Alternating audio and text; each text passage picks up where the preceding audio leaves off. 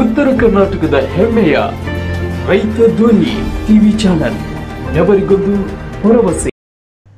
ರಾಣೆಬೆನ್ನೂರು ತಾಲೂಕಿನ ಕೋಟಿಯಾಳು ಗ್ರಾಮದಲ್ಲಿ ನಿನ್ನೆ ರಾತ್ರಿ ಸುರಿದ ಭಾರೀ ಮಳೆಯಿಂದಾಗಿ ಸುಮಾರು ಮುನ್ನೂರು ಹೆಕ್ಟೇರ್ಗಿಂತಲೂ ಹೆಚ್ಚು ಜಮೀನುಗಳಲ್ಲಿ ನೀರು ನುಗ್ಗಿ ಜಮೀನಿನಲ್ಲಿ ಬೆಳೆದ ಭತ್ತದ ಬೆಳೆ ಸಂಪೂರ್ಣ ನೆಲಪಾಲಾಗಿದ್ದು, ಇನ್ನೇನು ಕಟಾವಿಗೆ ಬಂದ ಫಸಲು ರೈತರ ಕೈಗೆ ಸಿಗದೆ ಭಾಗಶಃ ಕೊಚ್ಚಿ ಹೋಗಿದೆ. ವರ್ಷ ಪೂರ್ತಿ ಸಾಲಸೂಲ ಮಾಡಿ ಬೆಳೆದ ಭತ್ತದ ಬೆಳೆ ಒಂದೇ ದಿನದಲ್ಲಿ ಹಾಳಾಗಿರುವುದನ್ನು ನೋಡಿ ರೈತರು ಇದೀಗ ಕಣ್ಣೀರು ಸುರಿಸುತ್ತಿದ್ದಾರೆ.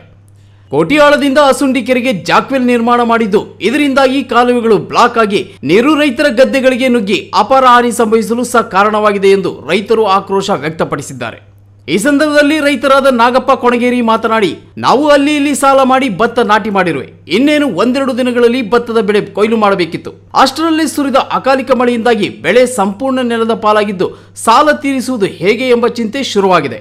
ಇದಕ್ಕೆ ಸಂಬಂಧಪಟ್ಟ ಅಧಿಕಾರಿಗಳು ಸ್ಥಳಕ್ಕೆ ಆಗಮಿಸಿ ನಮಗೆ ಸೂಕ್ತ ಪರಿಹಾರ ನೀಡಬೇಕೆಂದು ಆಗ್ರಹಿಸಿದರು.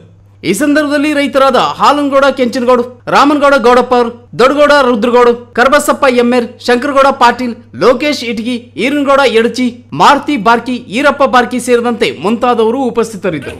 ನಿನ್ನೆ ರಾತ್ರಿ ಬಂದ ಮಳೆಗೆ ಕೋಟ್ಯಾಳ ಗ್ರಾಮದ ಜಮೀನುಗಳೆಲ್ಲ ನೋಡ್ರಿ ಇಲ್ಲಿ ಎಲ್ಲ ಪೂರ್ತಿ ಭತ್ತದ ಬೆಳೆ ಎಲ್ಲ ಪೂರ್ತಿ ಹಾಳಾಗಿಬಿಟ್ಟತಿ.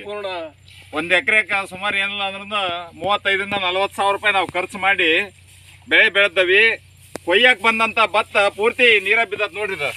ಇದನ್ನ ಹೆಂಗ ನಾವು ಮಾಡ್ಬೇಕು? ಸುಮಾರು ಈಗ ಲಕ್ಷಾಂತರ ರೂಪಾಯಿ ಒಬ್ಬೊಬ್ಬ ರೈತರು ನಾವು ಸಾಲ ಮಾಡ್ಕೊಂಡು ಈಗ ಹಾಳಾಗಿದ್ದೇವೆ ಆ ಸಾಲ ತೀರ್ಸೋದು ಹೆಂಗ?